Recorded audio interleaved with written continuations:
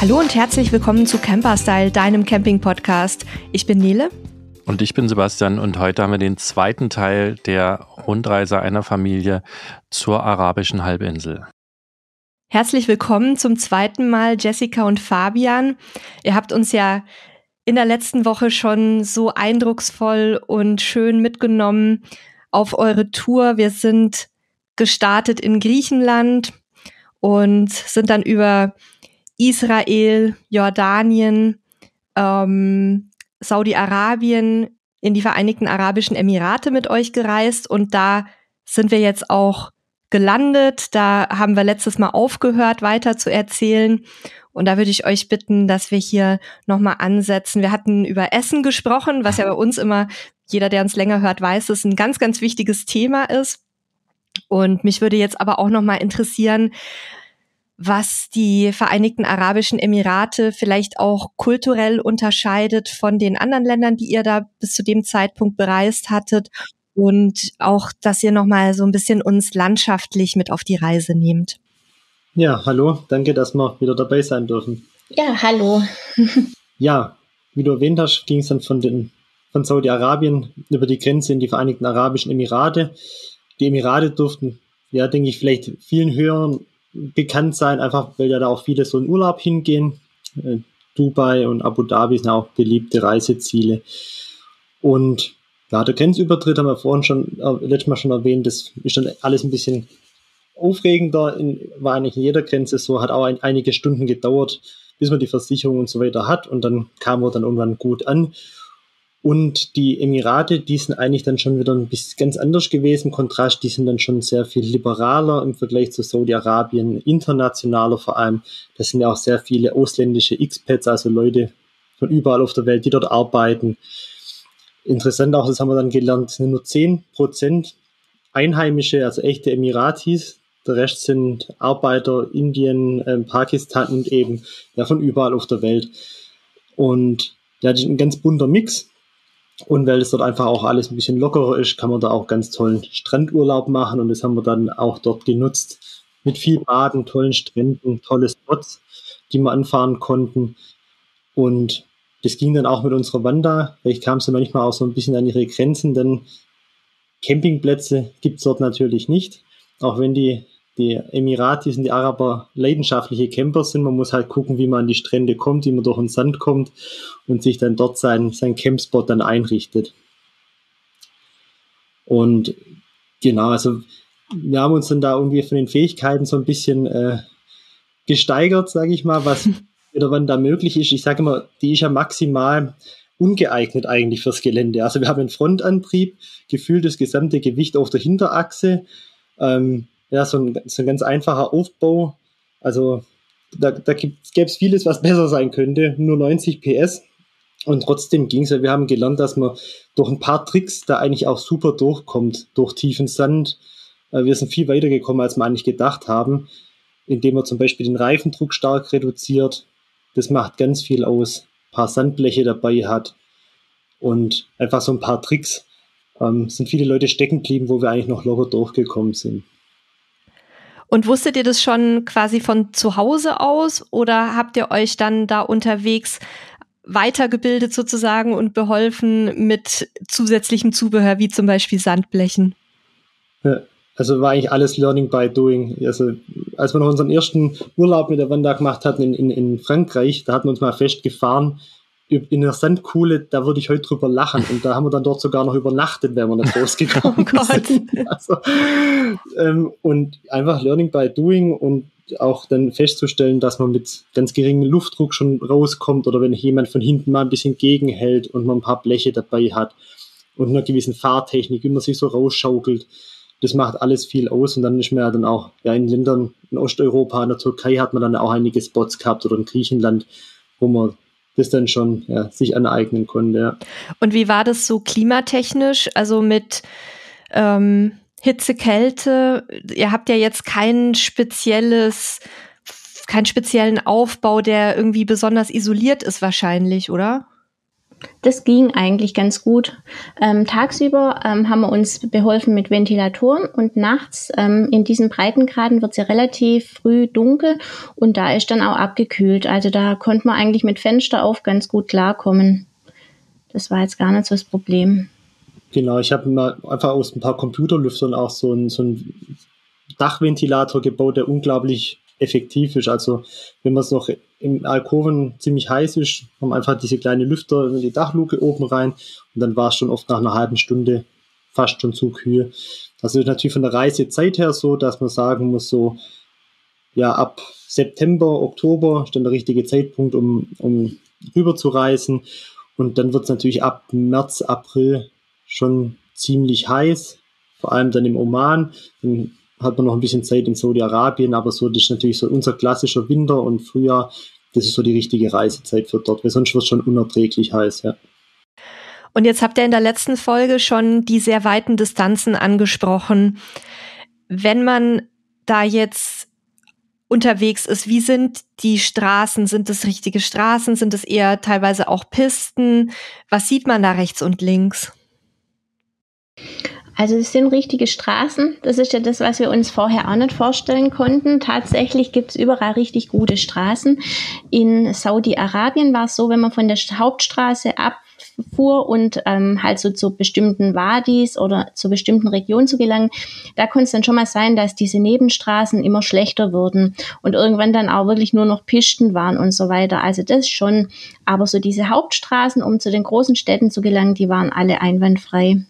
Und wenn ich da jetzt entlang fahre, ist da, sind da rechts und links Dörfer oder ist es eher so sehr dünn besiedelt? Ja, genau. Also auf jeden Fall Saudi-Arabien mit diesen riesen Distanzen, ist ein Riesenland. Ähm, da sieht man eigentlich wenig Dörfer. Da, also wenn man rausguckt, entweder man sieht riesige Sanddünen und also Wüste kann ja total unterschiedlich sein. Entweder man hat einfach nur Geröll und so öde Landschaft, wo man dann auch nichts Schönes fürs Auge findet. Oder es kommen dann wieder ähm, riesige Sanddünen, wo wir dann auch angehalten haben zum Spielen. Oder ähm, ja, dann auch wieder Gesteine, also irgendwelche Steinformationen und so weiter. Also es ist eigentlich total abwechslungsreich, dieses Bild, wenn man rausschaut. Und was halt auch spannend ist, wenn man zum Beispiel in so Sandstürme reingerät. Wenn man so mit dem Auto fährt und plötzlich kommt so ein Sandsturm und die Sicht wird dann immer weniger und ähm, irgendwann ist man mittendrin und man sieht gar nichts mehr und man hat so das Gefühl, man hört auch dieses Geräusch, wie es am Auto so hinrieselt und so weiter. Und danach kann man dann auch erstmal den Filter ausleeren. Genau. Also total exotisch im Grunde. Ja, und in den Emiraten, da kamen dann auf einmal ja auch riesige Städten oder Metropolen, die uns da erwartet haben, mit Abu Dhabi und Dubai. Ich habe aus eurem Buch so ein bisschen anklingen gehört, dass ihr jetzt nicht so die Stadtmenschen seid.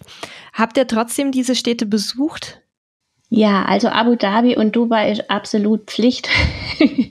also da haben wir uns auch total drauf gefreut und ähm, ja, also natürlich haben wir beide besucht und es ist schon spannend, mit dem Wohnmobil durch diese Stadt zu fahren und sich einfach vorzustellen, wo man gerade ist und dann mit diesem uralten Wohnmobil, das, das war schon gigantisch, ja.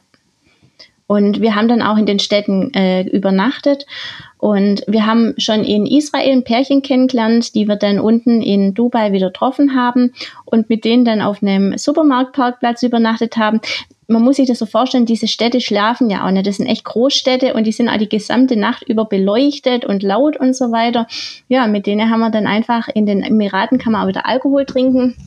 Mit denen sind wir dann einfach vorm äh, Wohnmobil gesessen und haben dort dann halt Bier trunken. Das war einfach total schön. Also natürlich aus Metallbechern, weil in der Öffentlichkeit ist es natürlich schon verboten.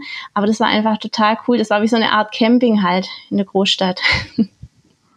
Das Spannendste ist, also als, als ich hier mich vorbereitet habe, dachte ich kurz, wir kennen uns schon, wobei das ja, als wir Technikcheck gemacht habe, nichts bei mir geklingelt hat, weil ich habe tatsächlich vor Corona schon mal in Dubai an einem Strandparkplatz ein deutsches Wohnmobil gesichtet und bin dann auch hin und habe die angesprochen und es war auch eine Familie mit zwei Kindern und einem alten Wohnmobil. Also die waren so wie ihr unterwegs. Und der einzige Unterschied zu eurer Reise tatsächlich ist, dass die nur durch den Iran fahren konnten. Und, äh, und wir haben dann auch da, ich glaube, ich weiß nicht, vier, fünf Stunden vor dem Wohnmobil gehockt und haben, hab mir deren Geschichten angehört. Wir haben ein Weinchen getrunken, auch genauso wie du sagst, aus einer, aus einer Tasse quasi.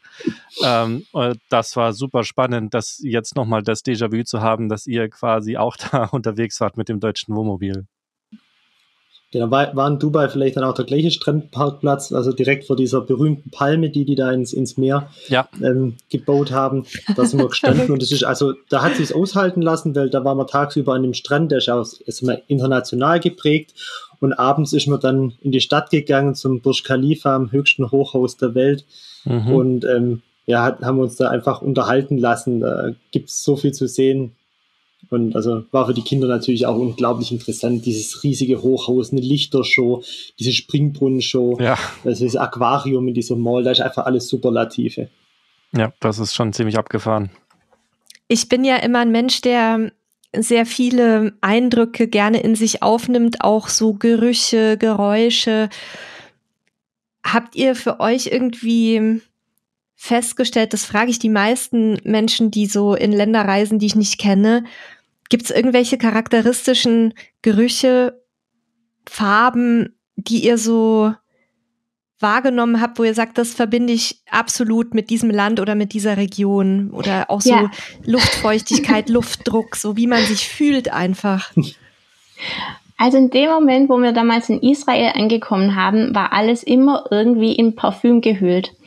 Also ich weiß nicht, und das hat sich weitergezogen, die gesamte arabische Halbinsel, wenn man diesen riesigen, also wenn man einkaufen geht, Lebensmittel, das ist immer alles in so riesigen Malls. Und wenn man da reinkommt und nicht aufpasst, dann wird man direkt angesprüht mit diesen ähm, Parfümverkäufern. Da hat es dann auch überall so Parfümerien und ich glaube, die Araber, die lieben wirklich Parfüm. Selbst das Geld riecht nach Parfüm. Also ja, man kann also, dem Schier nicht in, vor allem entgehen. Also richtig stark.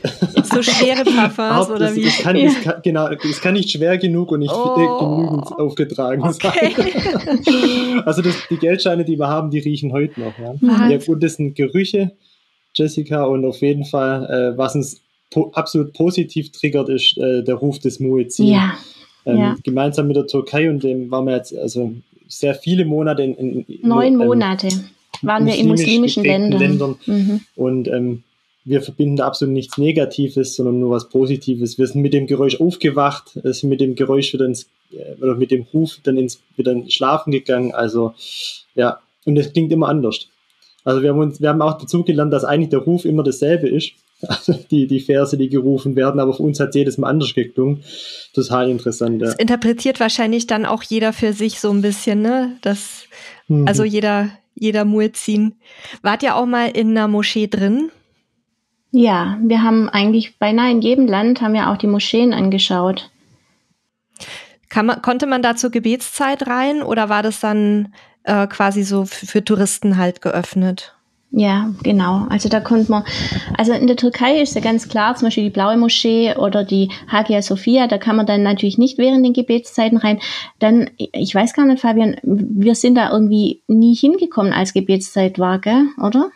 Hätte man da rein nee, können? Also war immer außerhalb und dann war es auch kein mhm. Problem und natürlich absolut gestattet und willkommen, dass man reingeht und mhm. ja, die, als Frau hat Jessica dann halt eben nur in den Moscheen ein Kopftuch getragen und ja, das ist absolut prächtig, vor allem in den Emiraten, da gibt es eine, eine, die ist wirklich wunderschön gemacht und aber die sind eigentlich alle total sehenswert. Auch im Oman, da überbieten sie sich dann alle an Prunk. Also ich bin ja gar nicht religiös, aber ich muss sagen, ich war, ich war zweimal zur Gebetszeit in Moscheen, da, das, da wurden wir, oder wurde ich eingeladen. Und das war völlig, ich kann das gar nicht beschreiben. Ich, ähm, das muss man irgendwie erlebt haben. Ich habe selten in meinem Leben so eine Ruhe verspürt, obwohl ich ja, wie gesagt, mit Religion so gar nichts am Hut habe und das auch aus meiner Kindheit so nicht kenne. Aber das war da, ich war da drin und habe mich gefühlt, als würde alles von mir abfallen. Und kein Wort verstanden natürlich, weil auf Arabisch. Aber das war so beeindruckend für mich. Also wenn ihr da mal die Möglichkeit habt, das zu machen, ähm, solltet ihr mal, solltet ihr mal so erleben. Das war, also das vergesse ich bis heute nicht. Das ist jetzt bestimmt 20, ja, 20 Jahre her. aber so dieses Gefühl der absoluten inneren Ruhe. Ganz merkwürdig. So, jetzt schweigen alle ganz andächtig. dann reisen ja, wir mal weiter. Ja, vielleicht haben wir da noch eine Anekdote für, für die Emirate, was wir dort nämlich dann ähm, erlebt haben und was sich dann immer wieder da durchgezogen hat, ist, dass wir, Jessica hatte es ja schon erwähnt, wir wollten keine solche Touri-Veranstaltungen machen, aber eigentlich, wir konnten ja mit der Wanda nicht so richtig in die Dünen reinfahren. Das konnten immer schön wo schlafen, wo die Dünen direkt nebendran waren, aber so richtig in die Wüste rein, das ging natürlich nicht. Und ich wollte schon mal irgendwie mit einem Jeep oder einem Geländewagen da dabei sein, so wie es die Einheimischen da machen. Und dachte ich, na okay, also zur Not buche ich halt so eine Tour und äh, da war man so eine Ghost Town, also eine Stadt, die von den Dünen verschluckt wird in den Emiraten und haben uns das mal so angeschaut. Und dann kam da in, in, ja, so ein Mann eben angefahren mit einem Geländewagen, der war so unglaublich getuned. Also da war alles gemacht, was irgendwie möglich ist, um den noch geländetauglicher zu machen. Bin mit ihm ins Gespräch gekommen und habe ihn da gelobt für das tolle Fahrzeug. Das hat ihn dann gefreut. Und er hat gesagt, naja, er möchte jetzt hier gerade mit seinem Freund eine Sonnenuntergangstour machen, ein bisschen in die Dünen, wir können ja gerne mitfahren. Wir seien seine Gäste. Und dann haben wir gedacht, jetzt fahren wir da so langsam vielleicht zum Picknick in die Dünen rein. genau das haben wir uns ja erhofft und haben wir ja gesucht. Ja, und das wurde dann aber irgendwie so eine, so eine Rallye, weil das ist halt dort so der Nationalsport mit möglichst hoher Geschwindigkeit auf möglichst hohe Dünen zu brettern. Und ja, recht schnell ist uns das Lachen dann auch vergangen und den Kindern. Der ist ja wirklich senkrecht auch runtergefahren. Ich dachte, das, das geht physikalisch überhaupt nicht, was der da macht. Und ja, er war natürlich schon geübt und hat gesagt, er hat noch nie einen Unfall gehabt. Aber das war dann schon abenteuerlich. Und dann hat er sich da 100 Meter hohe Dünen hochgeschraubt und uns dann später dann eben auch wieder zurückgebracht heil. und das war ein absolutes Erlebnis. Und so stolpert man da eigentlich immer wieder über solche Dinge, wo wir auch rückblickend gesagt haben, das macht es eigentlich auch so speziell und individuell. Also ich sag mal, wir waren auch in den USA und das finden wir ganz toll, aber letztendlich waren die meisten vielleicht am Grand Canyon oder in Las Vegas und ne, es ist irgendwie so ein ähnliches Erlebnis, das man dort gemacht hat. Und Leute, die auf der arabischen Halbinsel waren, da hat jeder so ganz eigene Erlebnisse gemacht, ja, weil wir hatten da diese Tour und haben nochmal eine tolle Familie kennengelernt, der dort auch eine, eine Dattelplantage hat und Rennkamele züchtet oder also einfach diese Begegnungen, die sind dann ja ganz individuell. Und das ist, glaube ich, auch ein besonderer Punkt einfach dieser Gegend. Und ähm, wie haben die Kinder das empfunden? Die fanden es wahrscheinlich total cool, oder? Naja, geht so. Also wir fanden es am Anfang alle ganz cool. Also, also diese kleinen äh, Dünen noch äh, nahmen, aber gegen später, man muss sich das vorstellen wie eine Achterbahnfahrt. Das waren Dünen, ich würde mal sagen, so 60 Meter vielleicht hoch und der ist dann im Kreis gefahren. Und immer als dieses Auto äh, beinahe stehen blieb, weil, weil, weil er halt immer hochkam, hat er dann abgewendet und ist wieder ein Stückchen runtergefahren und dann wieder hoch. Also wirklich wie so, ein, wie so eine Spirale und das dann halt hochwärts. Und also wir haben dann irgendwann schon alle, also ich habe zittrige Beine gehabt, die Kinder haben dann geweint und ich habe ihn dann oh irgendwann auch gefragt, ob er geschwind anhalten kann, ob wir aussteigen können. Und der war dann total betroffen. Der konnte sich nicht vorstellen, dass man Angst hat bei sowas. Das machen die schon als kleine Jungs. Das ist da völlig normal. Ja. Und mit den Rennkamelen, ähm, seid ihr da auch mal aufgesattelt oder oder war das dann doch eine Spur zu heftig für euch? Also die, diese Kamele hat er uns gezeigt, er hat seine ganze Range uns da gezeigt mit den Tieren und so weiter. Ähm, die konnten wir jetzt nicht reiten, aber wir sind in, im Wadi Ram, sind wir tatsächlich in Jordanien, sind wir mal auf einem, kan also sind wir Kamele geritten. Das haben wir da gemacht. Oder wir haben dann auch in Riyadh... Das Aufsteigen. ja. Das Aufsteigen ist ja recht komfortabel, weil man kann ja die, die stehen dann ja quasi mit einem auf, wenn man schon Liegen. drauf ist, aber irgendwie jetzt, also ja. die, wenn sie dann mal laufen, das fand ich jetzt eher un, unbequem, also zumindest über längere Zeit. Ja, das schaukelt ganz schön, ja, genau. In Riyadh haben wir mal dann ähm, uns Quads ausgeliehen und sind mit den Quads ein bisschen in die Dünen reingefahren. Wir haben uns halt immer, wo wir eben nicht hinfahren konnten mit der Wander, haben uns halt geholfen, indem wir gewandert sind oder halt eben solche, solche Sachen dann gemacht haben. Dann die Kamele waren aber auch immer so allgegenwärtig ähm, auf der arabischen Halbinsel. Einmal sind wir selber geritten, dann haben wir ein paar Mal sind wir auch an so Stellplätzen gewesen, wo solche Trainings ähm, Rennstrecken waren. Da werden ja dann von dem, ich sage jetzt mal, Trainingspersonal werden die, die Kamele dann trainiert. Das war interessant, das einfach mal so zu beobachten. Die können ja doch ganz schön schnell werden. Und dann hat man sogar die Gelegenheit, mal bei so einem ganz hochklassigen Kamelrennen teil zu, zu haben. Da war mit einer französischen Familie, der konnte auch Arabisch, weil er marokkanische Wurzeln hat. Das war dann ideal. So sind wir dann in so einen VIP-Bereich gekommen. Und es hatte also so vom Level wahrscheinlich wie bei uns jetzt ein Formel-1-Rennen wäre, ist dann dort halt das Kamelrennen. Und dann sausen da diesen Kamelen irgendwie ja, 50, 60 Geländewegen in einem unglaublichen Tempo hinterher. Die haben dann Funkgeräte und bedienen dann diese kleinen Roboter auf den Kamelen, die die dann antreiben. Also ja, eine völlig andere Kultur einfach wie bei uns. Ach, da sitzen nicht mal mehr Jockeys drauf, sondern kleine Roboter auf den genau, Kamelen. Genau, war ja, glaube früher haben die ja, glaube ich, Kinder draufgesetzt ja. und das ist eben nicht mehr erlaubt. Und da haben die dann so kleine Roboter, die so irgendwie über Funkgeräte dann äh, fernsteuern. Verrückt, das wusste ich nicht. Ja, da, da, lernt man auch nie aus, ne? Da sieht man immer wieder Sachen, die so ganz, ganz fremd sind der eigenen Kultur. Ja. Okay, also wir, wir sind jetzt Ecke Riad. Wo ging es dann hin als nächstes? nichts geht doch über einen richtig guten Kaffee, oder? Und dafür muss ich nicht mal in einen fancy Café gehen, einfach nur zu mir in die Küche. Mit meiner La Spezialista Touch Siebträgermaschine von DeLonghi werde ich ganz einfach selbst zum Barista. Das intuitive Touch-Display mit integriertem Barista-Guide begleitet mich Schritt für Schritt zum perfekten Kaffee. Ihr wollt auch euren perfekten Kaffee? Mehr Infos findet ihr unter delonghi.com. Nee, Riyadh war ja Saudi-Arabien. Wir waren gerade in so, den Emiraten. Genau, stimmt, also, sorry. Abu Dhabi und Dubai, genau. Ich weiß nicht, ähm, wie man sich dann auch diese Stellplätze ähm, so vorstellt. Also wir waren teilweise dann schon auch am Meer und haben dann direkt am Strand am Indischen Ozean geparkt und konnten dann da auch, ähm, wenn Flut war, schwimmen direkt. Und hinter uns war dann halt einfach nur die endlose Wüste. Also da hat schon auch verdammt tolle ähm, Stellplätze, wenn man sich das so die Landschaft mal so vorstellt. Ja, genau. Also das waren die Emirate. Weiter ging es dann in den Oman.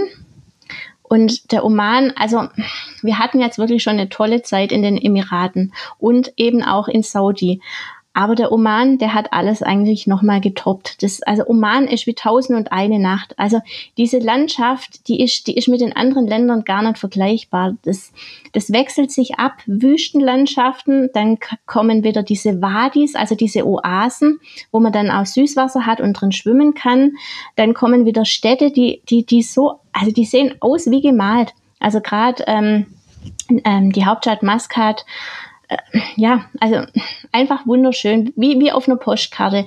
Und dann überall diese freilaufenden Kamele, das ist alles so, so, ja, so klischeehaft irgendwie.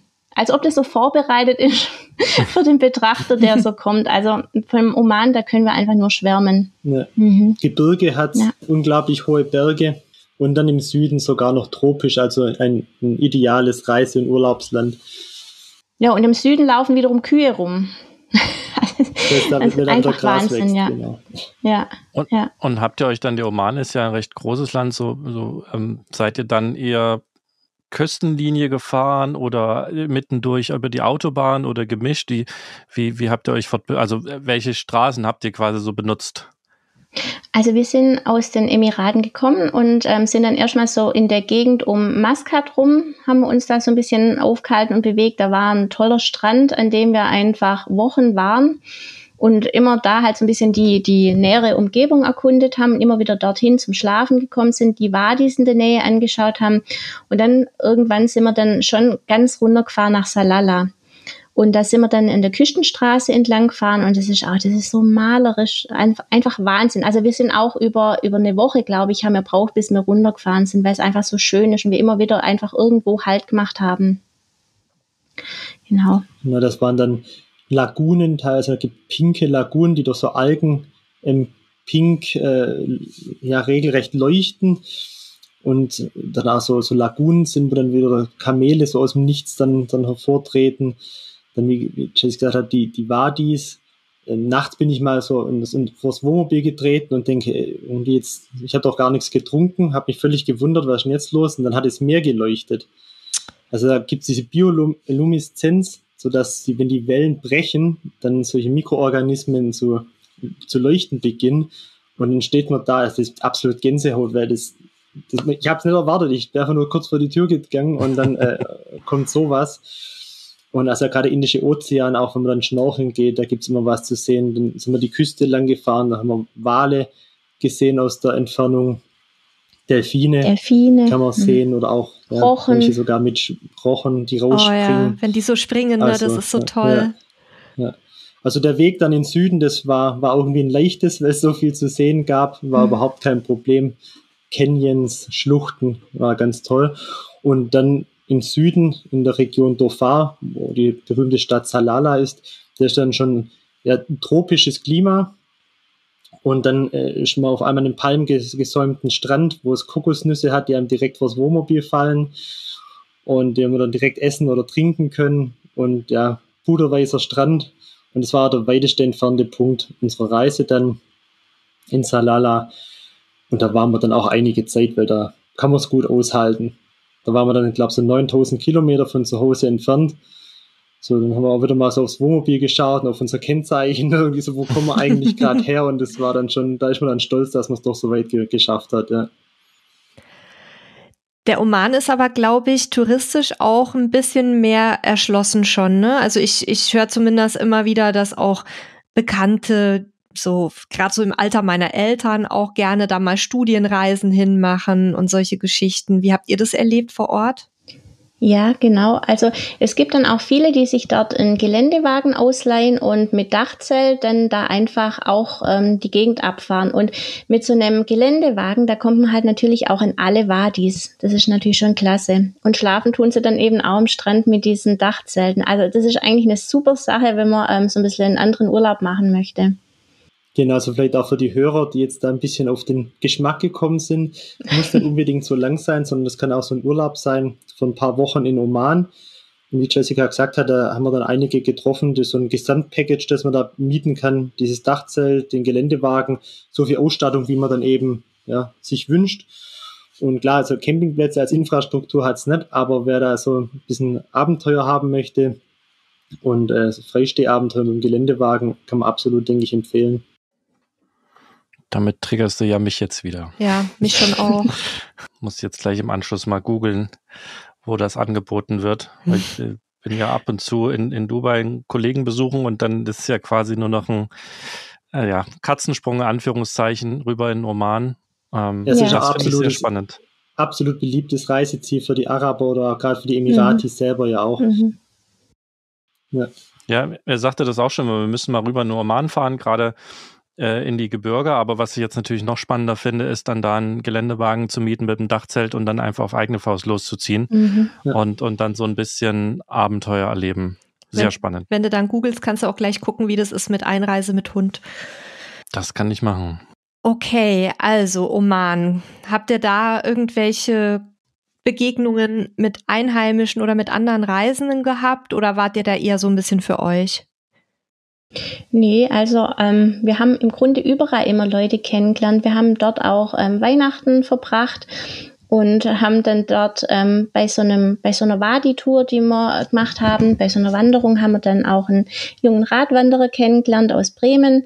Mit dem haben wir dann spontan zusammen Weihnachten gefeiert, mit dem haben wir immer noch Kontakt und ja, so das, ist dann, das war dann toll, da mal wieder einen Deutschen zu treffen nach so langer Zeit und einfach so viel Kontakte mit, mit anderen Nationen war das dann einfach auch besonders mal wieder einen Deutschen zu haben und mit ihm halt zusammen dann Weihnachten zu verbringen. Wie fühlt man sich denn, wenn man auf so einem Stellplatz steht und wirklich ganz alleine ist? Das kennt man aus Europa ja kaum. Also da ist ja immer irgendwas drumherum in aller Regel. Entweder andere Menschen oder irgendeine Art von Infrastruktur. Aber ich habe jetzt verstanden, dass ihr ja teilweise auch dann irgendwo am Strand wart, wo ihr im Grunde alleine wart. Ja, genau. Also die ganze Zeit in der arabischen Halbinsel. Also die Araber sind alles auch Camper. Also die fahren mit ihren mordsmäßigen Geländewagen dann auch übers Wochenende immer irgendwo in die Dünen rein und campen. Aber halt anders wie wir. Also mit, die campen mit Zelt und ähm, oft dann am Strand auch ähm, angeln sie die ganze Nacht durch und also äh, nützen den Strand so ein bisschen als Partyzone, um dann nicht zu schlafen und morgens dann halt wieder heimzufahren. Aber im Grunde ist schon so, wir waren meistens tatsächlich immer irgendwo alleine auf der arabischen Halbinsel. Und da freut man sich dann tatsächlich, wenn man irgendwo ein anderes Expeditionsmobil, Wohnmobil oder was auch immer sieht und quatscht die dann halt auch an.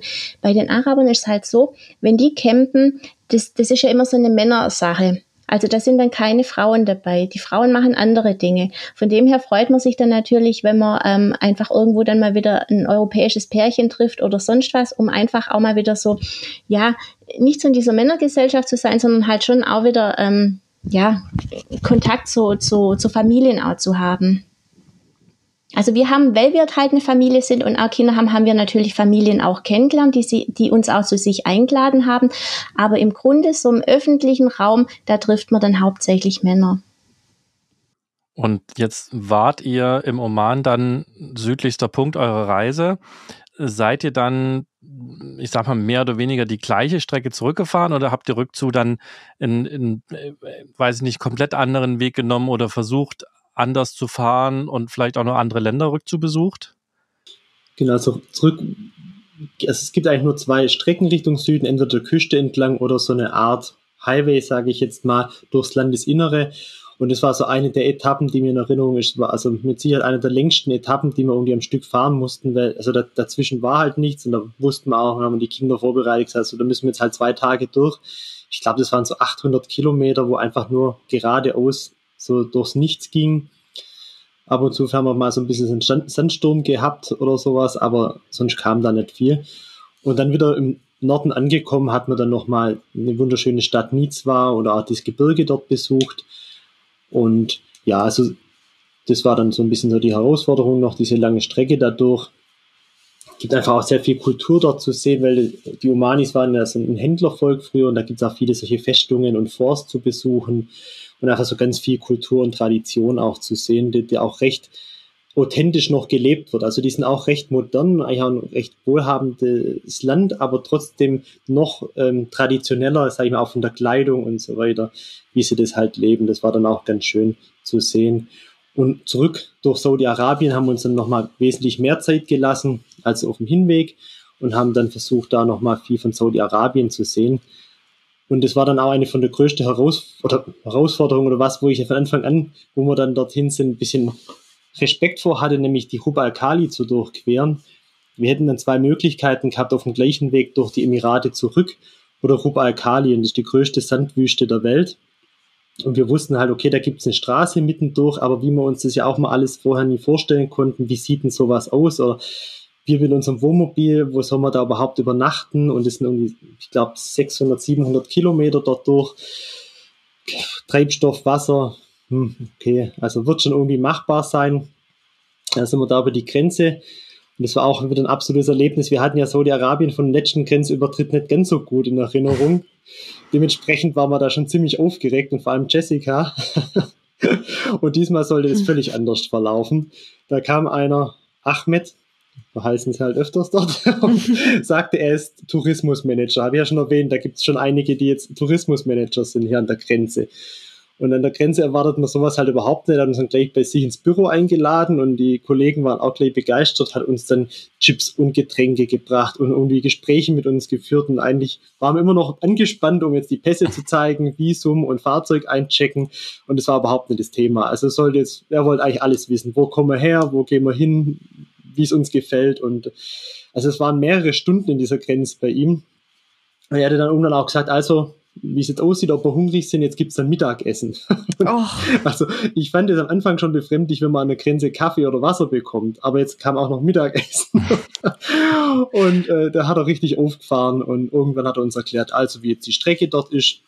Und hat uns auch erklärt, dass ja diese Grenze auch seit einem Jahr, glaube ich, ist. Also diese, diese Grenze und auch diese Straße gibt's noch gar nicht lang, dass man diese Rubal-Kali so durchqueren kann.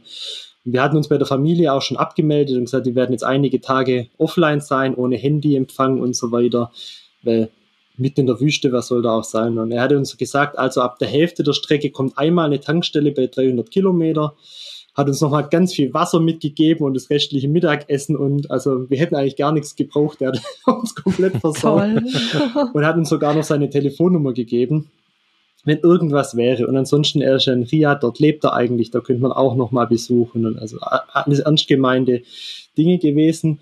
Und dann war auch das, waren wir recht schnell eingecheckt, unsere Versicherung bekommen. Ja, und dann kam auch dann unmittelbar nach der Grenze 100 Meter große Dünen. Und wir hatten dann noch ein Spektakel noch bei Kali, wo es eigentlich auch extrem trocken ist. Es regnet vielleicht dreimal im Jahr und wir hatten direkt mal zwei Regentage. und es macht dann den Sand dort nicht unbedingt einfacher zu passieren, wenn man da mal ein bisschen so rechts und links von der Straße halten will.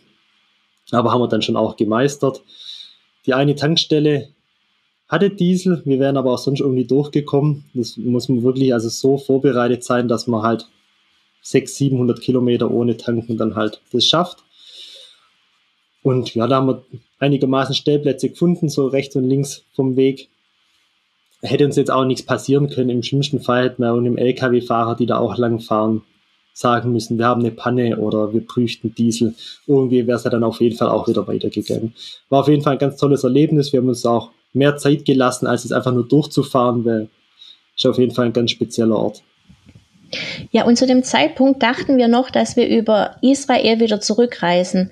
Also der Plan war ja, ähm, über Israel auf die arabische Halbinsel zu kommen und dann eben die einzelnen Länder zu bereisen. Und der Plan war dann ganz lange auch eben wieder über Israel zurück zu verschiffen.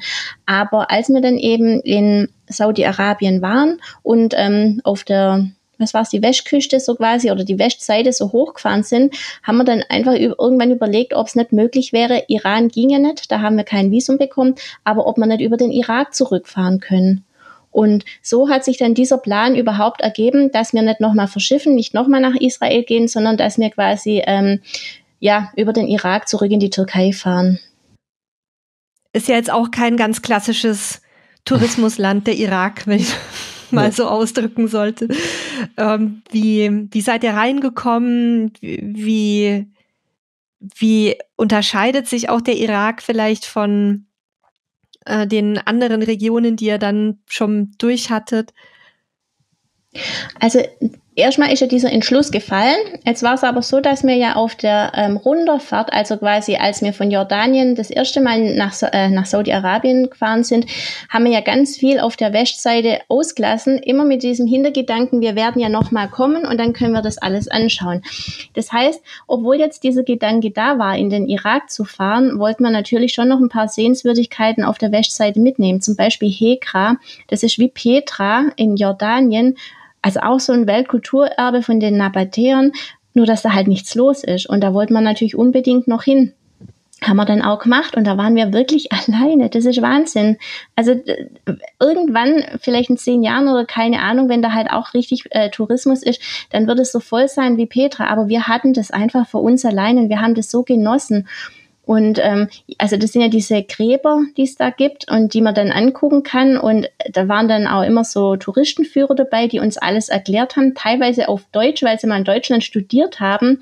Also das war einfach, das, das, das war eine Erfahrung, die, die kann man einfach nicht beschreiben. Und sowas wollten wir uns natürlich nicht entgehen lassen. Die, die ganze Region um rum, das Al-Ula, das ist so faszinierend von der ganzen Landschaft. Also das muss man natürlich noch mit angucken. Das heißt, wir sind dann bis kurz vor die Grenze nach ähm, ähm, Jordanien gefahren und mussten dann halt alles nochmal runter, aber wir wollten halt nichts auslassen. Kein Wunder, dass ihr am Ende auf wie viel 67.000 Kilometer nach eurer 62.000. 62. Aber da ist ja Europa mit dabei. Ja, ja, ja, aber trotzdem ist schon, ist schon eine Ecke. Das fahren andere im halben Leben sozusagen. Ja. Ja, genau. Also das ja, Al-Ula war auf jeden Fall eins, eins der Highlights dort. Ich schaue dann ansonsten ne, gibt es sehr viel vulkanische Landschaft mit riesigen Vulkankratern. Das ist äh, faszinierend gewesen, dass diese Wüste sich einfach auch so ändert. Dann kamen auch nochmal Oasenlandschaften. Wir sind auch an dieser Baustelle The Line vorbeigekommen. Mhm. Sagt vielleicht oh. dem einen oder anderen was, ähm, wo, wo die dort diese riesige Stadt bauen wollen, die so hunderte Kilometer in die Wüste gehen soll. Ist da ähm, gerade oder war da Bewegung schon? Ähm? Ja, ja, ja, also da, es gab sogar ein Ausstellungs-, ähm, so ein Visitor Center in Riyadh, wo das Ganze beschrieben wird. Man weiß immer nie so recht, ist das jetzt so ein, ja, wird es Realität oder nicht? Ich meine, als die gesagt haben in, in Dubai, sie wollen den Burj Khalifa bauen, hat wahrscheinlich auch jeder gedacht, das, das wird nichts. Und also mal sehen, was da in ein paar Jahren passiert. Auf jeden Fall werden da unglaubliche Sandmassen bewegt.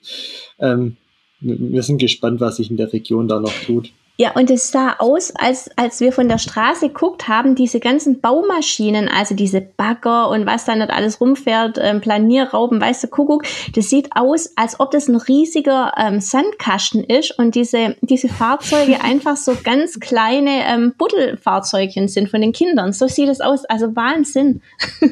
Da gibt's auch einen sehr spannenden Podcast. Ich weiß jetzt nicht mehr von aus welcher Serie, aber eine Podcast-Folge, die ich mir angehört habe, ähm, wo eben ein Journalist äh, sich da mal reingefuchst hat in das ganze Projekt und das so beschreibt und auch bewertet aus der Außensicht. Ähm, da, also völlig verrückt.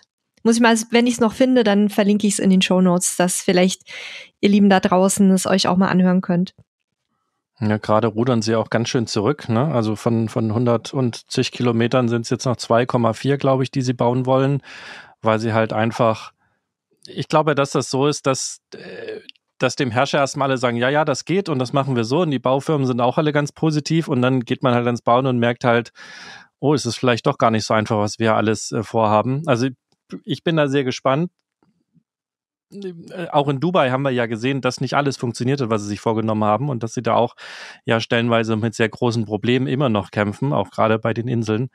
Ähm, aber ich glaube, nichtsdestotrotz da vor Ort zu sein und das zu sehen, ist schon irgendwie gigantisch, weil das ist ja kein Vergleich zu Baustellen, die wir hier in Deutschland haben. Und selbst hier unser BER als Großbaustelle ist ja wahrscheinlich irgendwie ein, ein Sandkasten dagegen, wenn man sich das anguckt. Also das glaube ich auf jeden Fall, dass das krass beeindruckend ist, so was sie da zimmern.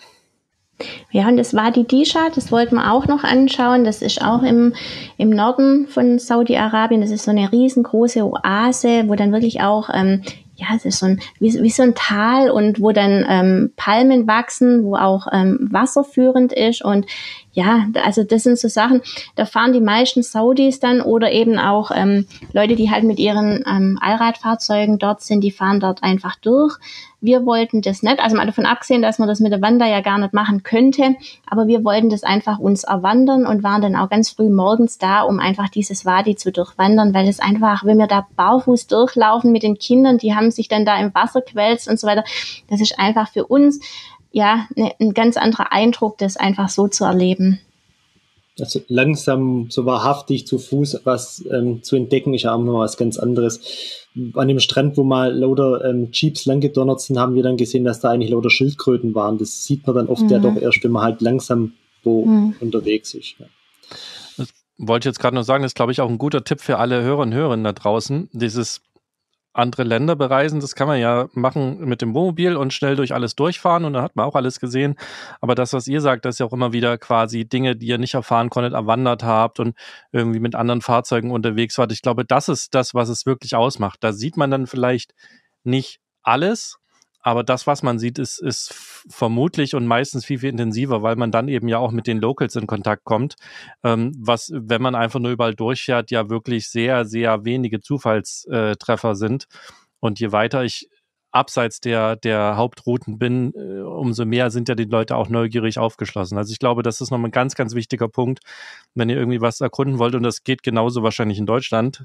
Ich kann mit der, über die Autobahn von, von München nach Berlin fahren oder ich fahre halt wirklich immer wieder unterwegs runter und in die Dörfer rein und gucke mir das da an. Und ich glaube, da hat man deutlich mehr Abenteuer und deutlich mehr Erlebnis, ähm, als wenn man quasi nur die Punkte abfährt. Ja, ich wollte auch gerade sagen, dafür muss man gar nicht jetzt bis in die exotischen Länder reisen. Selbst in der eigenen Stadt oder auch in Gegenden, in denen man vielleicht schon öfter mal war für Urlaub, der Unterschied zwischen ich fahre mit dem Auto durch eine Straße und ich gehe da zu Fuß was ich da dann auf einmal für Läden entdecke, die sonst völlig untergehen oder für ähm, Details, dass da irgendwie ein Opa draußen sitzt und eine Tasse Tee trinkt oder ähm, dass man auch mal ein bisschen in die Hinterhöfe reinspickern kann. Das ist auf jeden Fall äh, ein total wertvolles Erlebnis, egal wo man unterwegs ist. Ja, gut, und nachdem wir das dann anguckt haben, haben wir uns dann so langsam auf den Weg gemacht, dass man einfach Richtung Kuwait ähm, kommt. Das war dann schon Mitte, in, ja, Mitte Februar und ähm, zu dieser Zeit hat es dann in, in Saudi auch immer wieder so ein bisschen Niederschlag gehabt und es war so spannend, weil diese Wüstenlandschaft, es, man hat ja immer entweder Geröll oder man hat ähm, Sand und so weiter und das hat dann alles, dieser Sand ist dann so grün geworden, das hat ausgesehen, als ob da so Algen drauf sind und die Einheimischen haben tatsächlich auch wohl nach Trüffel gesucht, also richtig klasse. Genau. Ja, es muss eine, muss eine also sehr ergiebige Trüffelregion sein. Ich glaube, dass okay. wer, wer sich mit sowas auskennt oder mag, paar Einheimische sind da so unterwegs. Muss, muss ganz gut funktionieren. Und ist das Grüne, sind es dann Pflanzen, die da wachsen oder was? das sind das? Klein, kleine Grashalme, die dann hervor und auch äh, ganz mhm. viele Blüten einfach. Also mhm. wenn man dann immer so näher man dann quasi der, der Sache mhm. kommt, sieht man dann, dass da einfach Blüten dann sind und ja, ja so also alles so ein bisschen Blüten. im Kleinen mhm. halt. Ach toll. Mhm. Ja, genau. Und dann haben wir uns halt auf den Weg gemacht nach Kuwait. Und Kuwait, das sollte eigentlich so Zwischenstation sein, um nochmal alles aufzufüllen. Gas und Wasser und ähm, nochmal Einkäufe und eben auch, was wir ganz am Anfang erzählt haben, ähm, Geld zu wechseln und so weiter. Ja, und ähm, letztendlich sind wir dann doch auch wieder ein bisschen länger in Kuwait geblieben, weil es uns da auch so gefallen hat. Ähm, letztendlich sind wir da in Kuwait City auf einem riesen Strandparkplatz gestanden, ich glaube eine Woche oder zehn Tage oder so. Und ähm, also eigentlich war es da nicht so richtig schön, aber wir hatten in Kuwait so viele ähm, Begegnungen, so viel Aktionen, ich, ich, ich, ich kann es gar nicht genau sagen, das ist wieder so ein bisschen wie in Jordanien, dass, dass es so viel los war, ohne dass wir jetzt groß über das Land was erzählen können. Also unsere Tochter, die Paulina, hat sich da den Arm gebrochen. Wir waren dann da auch im Krankenhaus und auf dem Spielplatz habe ich eine ganz tolle Frau aus Ägypten kennengelernt. Und also das sind lauter so, so, so Geschichten, die sich da so, so ergeben haben, ohne dass es jetzt aber speziell mit Kuwait an sich zu tun hat. Also daher haben wir das auch extrem positiv so, so in Erinnerung, dieses Land, obwohl wir nur Kuwait City im Grunde gesehen haben. ja, aber dann, dann hatten wir halt auch Alltag und Erledigungen zu tun, haben unter Wasser gesucht, dann hat uns Leon in seinen Garten äh, gewunken, dass wir bei ihm Wasser holen können. Es hat sich ja alles ein bisschen geändert, da sahen die Vorgärten schon wieder ein bisschen aus wie bei uns, war alles mhm. wieder schon, schon ticken liberaler. Und dann haben wir noch ein paar Formulare gebraucht, um überhaupt in den Irak einreisen zu dürfen. Da mussten wir auf irgendeine so Behörde da sind wir dann wo eingeladen worden, wer irgendwie Nationalfeiertag bevorstand. Also einfach eine, eine angenehme Atmosphäre mit den, mit den Einheimischen dort. Und dann war so für uns so, ja, da schon die, die größte Challenge oder ja, Herausforderung, das Aufregendste, dann in den Irak einzureisen. Wir haben uns ja gut erkundigt und man steht ja mit vielen Reisenden in Kontakt, die da schon waren oder kurz vor einem, da jetzt eben schon über die Grenze sind. Und der Grenzübertritt war dann schon nochmal aufwendiger, natürlich sehr viel Militärpräsenz und unglaublich viele Stempel. Ich weiß nicht, wie viele Stempel ich auf die ganzen Unterlagen gebraucht habe und bekommen habe. Also das ohne Hilfe schafft man das dann auch nicht in zig Türen, die sich dann öffnen und man dann irgendwo wieder bei einem Stern Stempel in der Hand hat und da drauf hauen muss. Wahnsinn. Ja, dann waren wir dann irgendwann über der Grenze drüber, haben nochmal irgendwie was kopieren müssen, das weiß ich noch, es war interessant, auch ein interessantes Gadget, wir haben nämlich einen Kopierer dabei und einen Drucker. Das haben wir irgendwann mal gelernt, dass das bei so einer Reise auf jeden Fall total hilfreich ist, wenn man irgendwelche Formulare kopieren muss. Sonst hätten sie uns nämlich wieder komplett zurückgeschickt in die Grenze und habe ich gesagt, das mache ich jetzt nicht mit. Das kann ich ja selber kopieren, das Formular. Und ja, dann waren wir da über der Straße in Kuwait war ja alles noch ziemlich äh, modern. Und klar, Irak nach so vielen Jahrzehnten des Kriegs sieht dann schon ganz anders aus, da, äh, wie die Straßenverhältnisse und so weiter sind. Und da ist die große Herausforderung auch die, dass ja zur, zur Sicherstellung ja, für die Sicherheit sind dann überall so Straßencheckpoints, die vom Militär dann gesichert sind. Und sozusagen, ja, vielleicht im Abstand von immer von einer halben Stunde ist man dann schon wieder so ein Checkpoint drin, wo die Einheimischen so nur sporadisch überprüft werden, aber wir als Ausländer, das, sind ja recht auffällig unterwegs, sind halt jedes Mal rausgezogen worden. Und es hat das Reisen dort oder das Fahren halt sehr, sehr anstrengend gemacht, auch daneben als Familie. Wenn man eigentlich nie vorankommt, ist, man konnte nie planen, wie lange braucht man irgendwo hin. Und Freistehen war dann halt eben ja auch eine Herausforderung, weil man schon klar war, wir können jetzt einfach irgendwo hinstehen, ist auch recht dicht besiedelt alles dort. Dann muss man halt eben gucken, wie man irgendwo vielleicht bewachte Parkplätze finden oder eben einfach Spots, wo andere Reisende schon empfehlen können. Und mit den ganzen Straßenposten ähm, ist es auch so wie in diversen Ländern, die ich schon so bereist habe, afrikanische Länder, auch teilweise Mexiko, dass dann auch ein bisschen Trinkgeld in Anführungszeichen erwartet wird oder sind es wirklich reine Sicherheitsposten? Nee, das hat man also auf der ganzen arabischen Halbinsel eigentlich nie. Das Thema ähm, irgendwie Korruption oder, oder Schmiergeld oder dass da irgendwas verlangt worden wäre. Ähm, das gab es eigentlich dort wirklich überhaupt nie. Ansonsten haben wir uns immer sehr sicher gefühlt. Das, also extrem sicher gefühlt. Und im Irak, ja, das war einfach deren Aufgabe, uns zu kontrollieren. Und ich sag mal, man hat dann irgendwann mal verstanden, dass zwischen diesen Checkpoints, die quasi so ihr Revier haben und die müssen einfach sicherstellen, dass wir als Touristen da gut durchkommen. Mhm. Und die wollten halt eben gucken, dass sie diese, ähm, ja, diese Bürde halt schnell wieder loswerden. und ähm, dementsprechend waren die dann halt auch froh, weil die sind alle in so WhatsApp-Gruppen, hat man gesehen, diese Offiziere dann verbunden gewesen. Und da haben die auch gesehen, aha, der kommt jetzt von dort und reist jetzt in den nächsten, den nächsten Checkpoint wieder ein. Und so haben die das halt eben kontrolliert und die waren alle immer recht freundlich. Teilweise war es natürlich trotzdem irgendwo seltsam, weil ich als Mann dann, dann raus musste mit meinen Unterlagen. Dann bin ich zum Offizier gebracht worden und es konnte auch sein, der hat jetzt vielleicht gerade irgendwie Feierabend und ist dann in der im Jogginganzug oder Schlafanzug auf dem Bett sitzen vor mir gesessen und hat dann die Papiere kontrolliert mit finsterer Miene, oh während die mit dem Sturmgewehr irgendwie hinten gestanden sind. Aber da wollte ja keiner was. Aber das ist mhm. einfach für uns ja völlig fremd. Also, dass irgendwo jemand auch bewaffnet ist, finde ich für mich jetzt schon befremdlich. Ähm, ja, ich, ich merke das auch immer wieder, wenn ich nach längerer Zeit in Deutschland wieder in Mexiko bin und dann auf einmal im, im Oxo, also das sind wie so kleine Tankstellenläden, ähm, steht halt dann auf einmal ein Soldat mit einem Maschinengewehr neben dir, ne? Und ähm, da geht da auch ganz locker mit um und hat noch so lässig die Hand mhm. da ähm, am Abzug.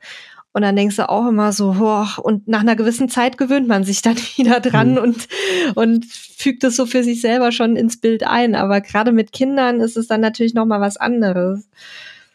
Genau, und das war dann ist halt so dann die, die Herausforderung, halt Schlafplätze zu finden. Es gab, gibt eigentlich sogar sehr viele Sehenswürdigkeiten dort. Also ist ja so von, von der Menschheitshistorie und von der Kultur her eigentlich eine unglaublich ähm, wichtige, wichtige Gegend. Ähm, auch vom Alten Testament, was sich da alles abgespielt hat. Also wir haben dann Babylon besucht, der Turmbau zu Babel, was da alles stattgefunden hat. Man sagt sogar, dass das Paradies dort gewesen sein soll, wo sich Euphrat und Tigris trifft. Und jetzt war es halt schwierig, da alles irgendwo anzuschauen, wenn man nicht genau weiß, wo soll man denn da irgendwie übernachten. Ja, also haben wir genau überlegt, was, was sind für uns die wichtigsten Spots. Und haben wir eigentlich auch aus, ja, vielleicht wären wir auch so ausgeliefert, waren eigentlich die besten und tollsten Bekanntschaften dort halt gemacht. Und gerade so um, um Babylon rum, da war da eine Familie, die einfach völlig ohne Hintergedanken dort Reisende aufnimmt, ähm, so einen ganz tollen ihren Garten da zur Verfügung stellen. Und da kann man dann ja äh, in der Nähe von diesem Babylon halt übernachten, haben uns dann noch ein tolles Essen mal gebracht und direkt am Euphrat gelegen und dann konnte man am nächsten Tag halt dieses Babylon, das ist eine ganz tolle ähm, antike Stadt, besuchen. Und wie erfährt man von solchen Menschen, die da jetzt einfach, also die da ihren Garten zum Beispiel zur Verfügung stellen? Erzählen das andere Reisende oder trifft man die zufällig? Nee, also man ist ja immer in Kontakt mit anderen Reisenden. Also in solchen Gegenden, ähm, da ist man ja schon auch irgendwie vernetzt und lernt ja dann auch Reisende kennen, mit denen man dann in Kontakt bleibt und man sich dann gegenseitig einfach so Tipps zu ähm, äh, ja, zu, zuwirft und, und halt auch drüber informiert, wie hat wer wo wie was gemacht. Also uns wurde auch abgeraten, zum Beispiel, wir waren ja schon ziemlich weit oben in Jordanien und uns wurde aber abgeraten, ähm, von Jordanien in den Irak einzureisen, weil das da wohl mit den Checkpoints noch krasser ist und das dann wohl in ein Soldat mit ins Auto sitzt und so weiter und von Checkpoint mhm. zu Checkpoint fährt und so weiter und so haben wir halt erfahren, dass das über Kuwait halt wohl der einfachste Weg ist. Und so erfährt man dann einfach auch von anderen, die schon da waren, wo kann man übernachten und ja, wo gibt's, wo gibt's einfach sichere Plätze, wo kann man vielleicht auch einkaufen und so weiter. Wobei man schon sagen muss, so viel waren halt im Irak noch nicht. Also wir mhm. haben jetzt einfach ein paar Leute kennengelernt unterwegs und die haben uns das halt dann gesagt, ja. Und habt ihr euch äh, also vernetzt? Klar, wenn man sich trifft, kann man wahrscheinlich irgendwie Kontaktdaten austauschen. Habt ihr aber auch, keine Ahnung, auf Instagram oder so Leute angeschrieben, wo ihr gesehen habt, die waren da gerade unterwegs oder wie, wie habt ihr das so gemacht? Ja, also gerade über Instagram, wie du sagst, das ist irgendwie unterwegs sehr interessant gewesen. Da hat man dann einfach recht schnell zueinander gefunden, wer gerade genau zu deinem Zeitpunkt ja auch dort unterwegs ist und hat man sich schnell Tipps geben können, wenn man gemerkt hat, naja, wir vielleicht in der gleichen Gegend, dann haben wir uns getroffen mit anderen, die, da haben wir dann quasi einfach nur so digital Kontakt gehabt und haben uns dann später bei der Ausreise zufällig an der Grenze getroffen. Genau, also verschiedene Kanäle eigentlich persönlich oder weil jemand anders jemand anders kennt, das, das ergibt sich dann eigentlich recht gut. Das zeigt halt auch, man kann das jetzt nicht genau planen, sondern stolpert halt einfach Stück für Stück so voran. Und wiederum andere Begegnungen und Stellplätze haben wir einfach so direkt über die Einheimische gefunden. Ja, und in Babylon war auch noch total interessant. Wir gucken auch mal total gern so Lost Places an. Das finden wir, also auch die Kinder total spannend. Und äh, da ist ein ganz besonderer Lost Place, nämlich der ehemalige Palast von Saddam Hussein. Und nachdem die Amerikaner ihn sondern dort äh, verjagt hatten, haben die dort einen Stützpunkt gehabt und heute ist das einfach ja, stets leer, verfällt. Die ganzen Einheimischen haben dort irgendwie auch so ihr Wochenende verbracht und haben sich das angeschaut. Und also schon ein absolut surrealer Ort ähm, von so einem Diktator da an dem Palast, sich das anzugucken, wir so, so Decken und Wandmalereien und so vorhanden. Ja. Und aber der verfällt jetzt der Palast oder wird der irgendwie als Denkmal gepflegt oder so? Nee, leider nicht, nee. Und welche Apps habt ihr sonst noch auf euren Reisen genutzt, die, die für euch super hilfreich waren neben Instagram? iOverlander. Also so, iOverlander ist halt dann in den Ländern schlagartig äh, so das die App, die einem weiterhilft, weil dann ja auch nicht nur Stellplätze drin sind, sondern halt Tipps zu, zu Grenzübergängen oder zu Wasserquellen.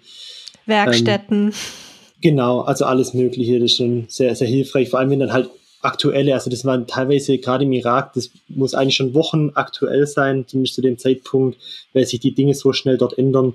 Dann war es immer hilfreich, wenn da Leute halt auch so ihre Erfahrungen geteilt haben. Und dann von Babylon, das ist dann schon etwas südlich von Bagdad. Bagdad war so eine Überlegung, aber das haben wir dann gedacht, das lassen wir aus. Das war einfach, dann man muss halt auch in der Verfassung sein. So rückblickend denken wir auch manchmal, da hätte man noch einiges anschauen können. Aber gerade mit Kindern und so, und das ist halt einfach alles schon anstrengend gewesen, muss man halt in dem Moment auch gut drauf sein. Und für so eine Großstadt, das war jetzt nicht so. Und dann sind wir weiter Richtung Norden gefahren.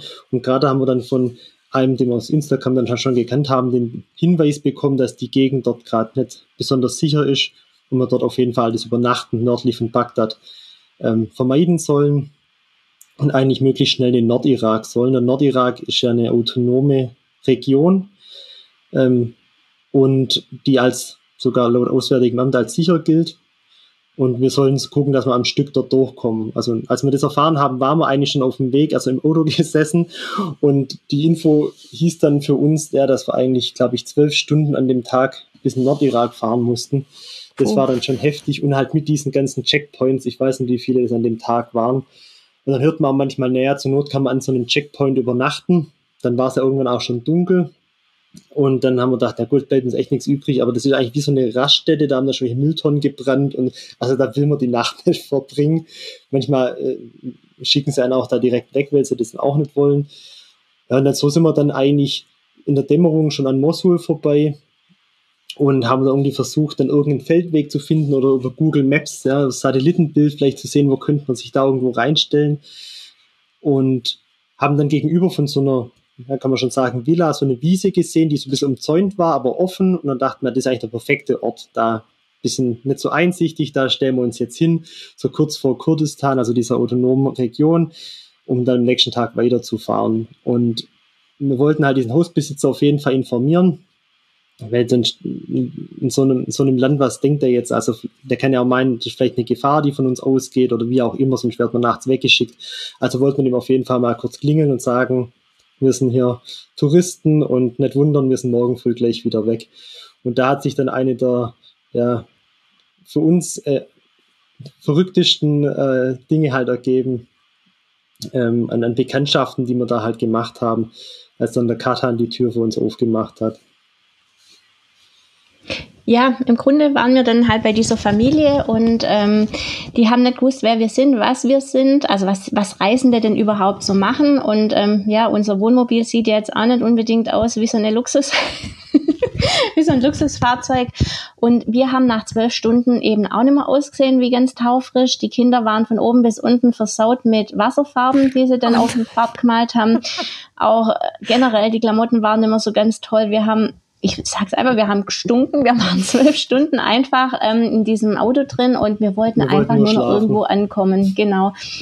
Auf jeden Fall haben die uns dann gebeten, in ihre Einfahrt, das war wahrscheinlich die einzige gekachelte Einfahrt in ganz Irak, dass wir da reinfahren. Und ich muss nur dazu sagen, unser ähm, äh, Grauwassertank war kaputt. Der ist irgendwo, haben wir den mal abgefahren und der hat geleckt. Und Fabian wollte den dann in Kuwait noch reparieren, wo ich gesagt habe, komm, das ist doch im Iran wahrscheinlich das, äh, im Irak das allerkleinste Problem. Ja, und da standen wir jetzt da auf dieser gekachelten, also auf so einer gefliesten Einfahrt und ähm, das Wohnmobil hat gesüfft. wir haben dann schnell so einen Katzenstreich noch runter unter, unter den unter den Tank gemacht, damit es einfach so ein bisschen ähm, aussieht, als ob er halt Öl verliert. Ja, und dann ähm, haben sie uns reingebeten in ihr Wohnzimmer. Das war auch alles total prachtvoll. Also das war, glaube ich, einfach eine reiche Familie halt und ja, wir haben dann versucht, mit Translator und so weiter klarzumachen, dass wir einfach nur irgendwo hier schlafen möchten. Dann haben sie uns Matratzen und Decken dahergebracht, weil sie gedacht haben, wir möchten oh bei Gott. ihnen übernachten. Dann haben wir dann irgendwie dann klar gemacht, nein, nein, wir wollen auf jeden Fall in unserem Auto schlafen und das konnten sie gar nicht glauben, haben uns dann noch was zum Essen gegeben und so weiter und haben gesagt, sie wollen jetzt zu ihrem Opa fahren, ob wir mitkommen. Der wohnt eine Stunde entfernt. Und im Grunde, die Kinder waren so durch, die konnten immer, die haben geweint und wirklich, die konnten einfach nicht mehr. Ansonsten wären wir mit, weil das wäre, das wäre wahrscheinlich die Erfahrung des Lebens geworden. Aber das ging dann nicht mehr. Die haben uns dann allein gelassen auf ihrem Hof. Ähm, mit der Andeutung noch, wir können hier duschen, wir können aufs Klo gehen und so weiter und sind dann einfach gefahren und haben uns dort allein gelassen. Wahnsinn. Also Wahnsinn, einfach Wahnsinn. Ja. Und wir sagen halt immer wieder, ich stelle mir das immer wieder vor, einfach jemand Fremdes aus einem völlig anderen Kulturkreis vor einem steht mit so einem komischen Fahrzeug, das mir überhaupt nichts sagt. Und ja, und so abgereist. Nur vom, nur vom, genau, und ich aber trotzdem vom Besten ausgehe. Und das fand ja. ich halt Wahnsinn. Ja, und auch wir haben ja wirklich, also wir haben ja gewirkt, also nicht wie wenn man zu jemandem zu Besuch kommt, halt einfach. Ja, also das Sie war schon Wahnsinn. Sie haben mehrfach ähm, gesagt, dass wir auf jeden Fall sicher sind bei ihnen und haben an die Wand gezeigt, wo dann, ich glaube, vier, fünf Sturmgewehre gestanden sind. oh äh, Gott. Der Herr des Hauses war auch äh, wohl ein höherer Offizier beim, bei der Bundespolizei und genau. ja. Ja gut, und dann ging es halt zur Grenze am nächsten Tag und ähm, dort haben wir dann zehn Stunden tatsächlich verbracht. Das war der längste Grenzübertritt, bis wir irgendwann dann in der Türkei waren. Ja, und dann in der Türkei war dann tatsächlich unser Abenteuer auf der arabischen Halbinsel vorbei. Ja, würde man jetzt so als äh, Normalsterblicher sagen, reicht ja auch erstmal. Wir haben ja, wir haben ja noch ganz viel ausgelassen, was ich so in eurem Buch noch lesen konnte. Da werden wir jetzt gar nicht mehr so viel dazu kommen, darüber zu sprechen, angesichts der Zeit, leider. Mhm. Aber ich, äh, ich finde das wahnsinnig schön und auch das, was ihr jetzt wieder erzählt, zeigt ja mal wieder, dass man natürlich nicht leichtsinnig werden sollte und sich auch schon informieren, wie Sicherheit und ähm, ja, Kulturgesellschaft in den verschiedenen Ländern so beschaffen sind, damit man eben nicht auf die Nase fällt, aber dass es sich doch lohnt, auch mit einem offenen Herzen mit den Menschen umzugehen und nicht immer davon auszugehen, dass jeder einem als erstes nach dem Leben trachtet. Ja. Was habt ihr denn sonst noch so für euch persönlich mitgenommen von dieser ja sehr spektakulären Tour? Also ich würde mal sagen, von unserer gesamten Reise, ich meine, die Reise war ja insgesamt 28 Monate und wir haben ja auch nur die gesamte, also Europa zu einem großen Teil noch ähm, erkundet. Ich würde einfach sagen, auf der Reise hatten wir einfach Zeit. Wir hatten Zeit, wir hatten keine Termine und in, in unserem normalen Leben hier in Deutschland ist es undenkbar, mal keine fremdbestimmten, von außen vorgegebenen Termine zu haben. Und ich würde sagen, das war das absolute Highlight auf dieser Reise, so komplett in den Tag leben zu können, wie es einem passt und halt auch einfach für die Kinder komplett da zu sein. Die Kinder konnten spielen, solange sie wollten. Keine Termine haben sie von irgendwas abgehalten. Es hat sie einfach rauskristallisiert, auf was sie Lust haben, was deren Stärken sind und auch die Fähigkeiten und so weiter. Und ich bin mir sicher, das, das hätten wir hier so nicht gehabt in der Zeit, wenn wir zu Hause blieben wären. Und das ist einfach auch der Grund, warum wir für uns entschieden haben, wir möchten wieder los und wir werden auch wieder losfahren in Abseh, also in nächster Zeit. Und was ist als nächstes geplant? Welche, welche Runde oder welche Gegend? Es ist noch nicht ganz klar, aber es wird wieder weiters weggehen und es wird auch mit einem anderen Fahrzeug dann sein. Fabian hat jetzt den, äh, den LKW-Führerschein gemacht und wir wollen dann diesmal einfach ähm, ja noch ein paar Strecken mehr fahren können, als das halt mit Wanda möglich war. Ja, die Familie hat sich auch noch vergrößert. In der Türkei kam ja auch noch ein Hund dazu, Ach der so, dann doch. immer größer geworden ist. Ja, ein sehr großer Hund, ja. ein sehr großer Hund mittlerweile. Und dadurch ist die Wanda jetzt doch für längere Reisen zu klein geworden. Ja, das mit den zufällig wachsenden Hunden haben wir auch schon durch. Der wächst nicht mehr. das ist ja nochmal 10 Zentimeter nach oben. Ja, das hatten wir auch schon.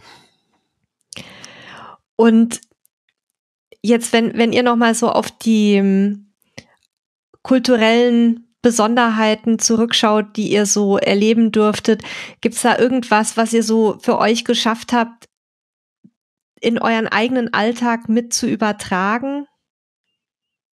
Also Stichwort Gastfreundschaft, Stichwort Großzügigkeit. Schafft man das, das mitzunehmen oder kommt man dann, wenn man zu Hause ist, doch wieder so in den in die Dynamik und in den Trott der deutschen Gesellschaft rein?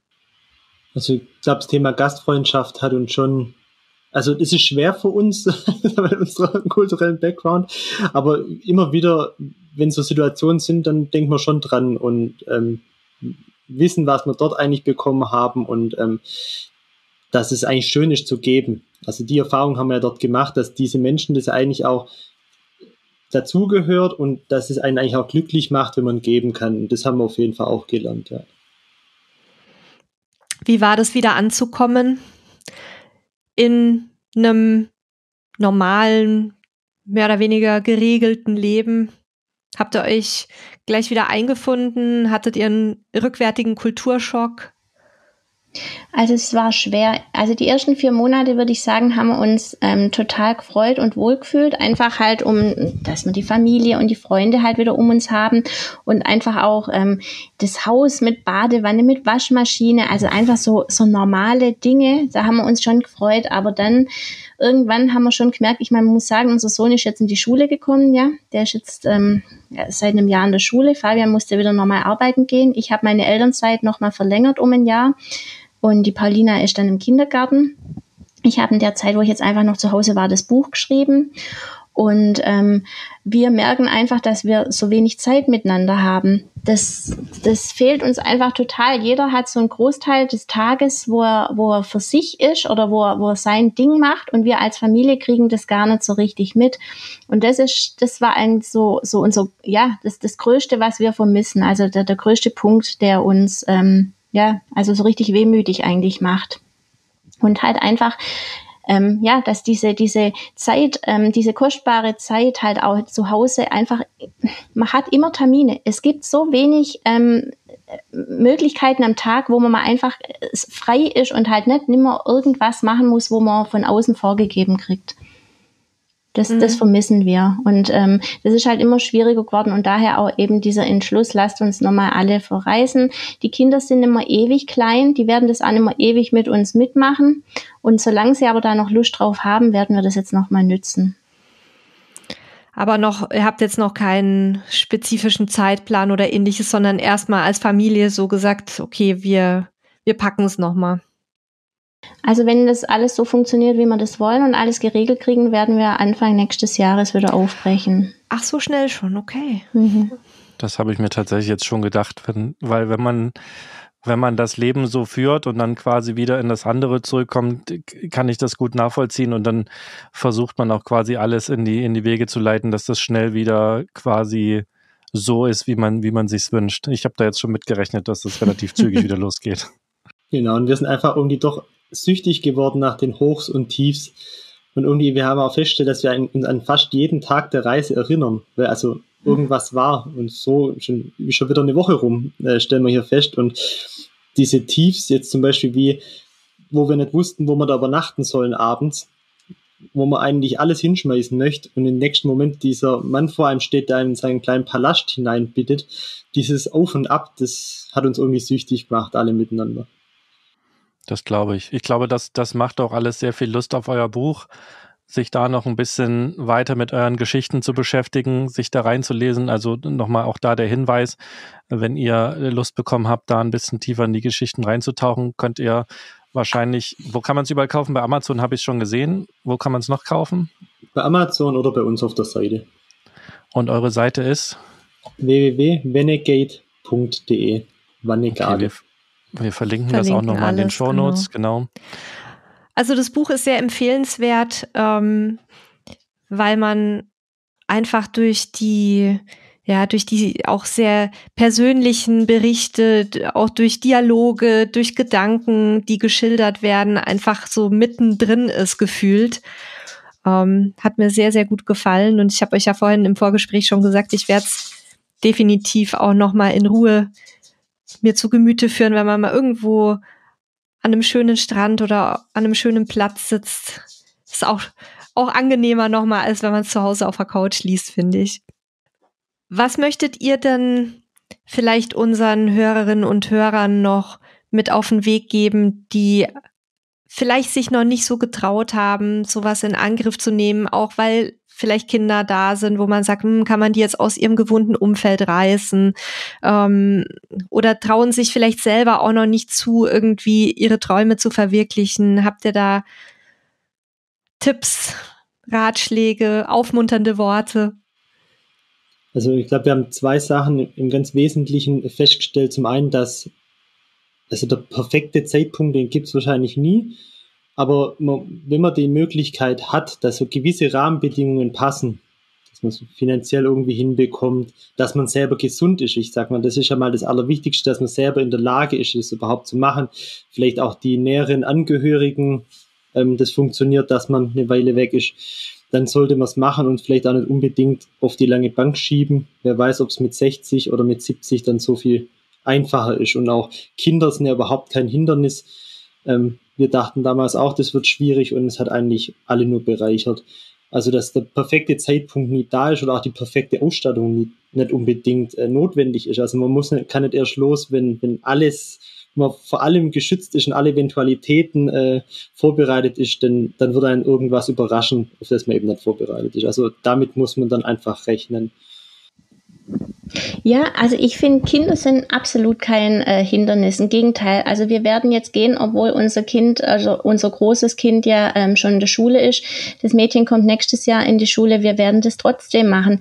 Wenn man was will, dann gibt es dort äh, Wege und Mittel, ähm, dass man sich das einfach ermöglicht. Und ähm, wir haben uns zum Beispiel entschlossen, unser Haus zu verkaufen. Das ist zum Beispiel dann einfach auch ein Weg, der uns nicht schwer, also nicht leicht gefallen ist, aber ähm, ja, um unseren Traum halt, um nochmal eine ziemlich große Reise zu machen, werden wir das einfach so machen und danach werden wir weitersehen, wo wollen wir leben und wie wollen wir leben und genau, ja, einfach machen. Wenn man einen Traum hat, einfach dran setzen und gucken, wie, wie man sich das ermöglichen kann. Das ist eigentlich schon ein sehr schönes Schlusswort gewesen, oder Nele? Ja, würde ich auch so stehen lassen. So viel besser kann man es kann man's nicht ausdrücken, als äh, gerade auch mit den Sätzen, die ihr jetzt zum Schluss gerade nochmal gesagt habt. Das können wir eins zu eins so bestätigen und unterschreiben. In diesem Sinne. Ja, wir bedanken uns ganz herzlich bei euch. Es war wirklich sehr, sehr schön, dass ihr uns mitgenommen habt auf, auf diese Tour, die wirklich aus meiner Sicht sehr außergewöhnlich ist. Ich habe bisher noch keine Familie getroffen, persönlich, die das gemacht hat. Und ich denke, das ist auch eine tolle Inspiration für ganz viele Hörerinnen und Hörer. Vielleicht nicht dieselbe Tour zu machen, aber einfach auch nochmal so, so ein bisschen die Komfortzone zu erweitern und, und tolle Eindrücke mitzunehmen. Vielen lieben Dank euch beiden. Ja, danke schön. Ja, wir bedanken uns auch. Ja, auch von meiner Seite vielen Dank. Ähm, wie gesagt, klickt rein auf renegade.de, da könnt ihr eine ganze Menge Sachen lesen und wir legen euch auch das Buch nochmal ans Herz und äh, abonniert unseren Podcast, damit ihr keine so eine Episode wieder verpasst. Könnt ihr kostenlos überall machen. Und äh, Jessica und Fabian, ich hoffe, wir hören uns dann irgendwann nach eurer nächsten großen Reise wieder, wo ihr dann berichtet, was ihr da alles erlebt habt. Sehr gerne. Dankeschön. Tschüss. Dann bis zum nächsten Mal. Tschüss. Tschüss. Tschüss.